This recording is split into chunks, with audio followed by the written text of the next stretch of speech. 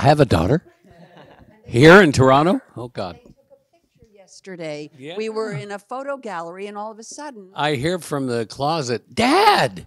it was beautiful. Turn around and there she was. It's it's it's wonderful and joyous, and you know, and it's life throwing these wonderful surprises at you. You know that my daughter's in the same business, and we happen to have a movies, different movies in in in the same festival, and and then we show up and we we we say, oh, we're not going to see each other because we're both working. Let's not worry about it. And then of course we we cross paths, and then we saw each other last night at one of the parties, and uh, the Hollywood Foreign Press party, and um, it was just you know uh, it's magical, really magical.